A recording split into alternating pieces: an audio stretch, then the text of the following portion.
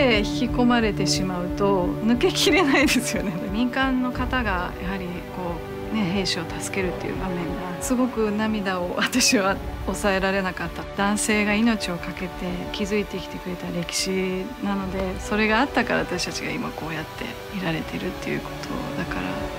見てほしいって思いますよね。残酷な血が出てしまったりとか目を覆いたくなってしまうようなシーンは全くなかったって人間のドラマっていうものをちゃんと感じるそのドラマの心の機微をちゃんとここに入れてほしいというかもう一回見たいって思いました心底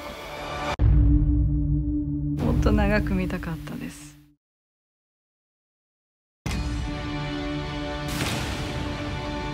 We shall fight on the beaches. We shall fight on the seas and oceans. We shall carry on the struggle. We shall never surrender. ダンケルク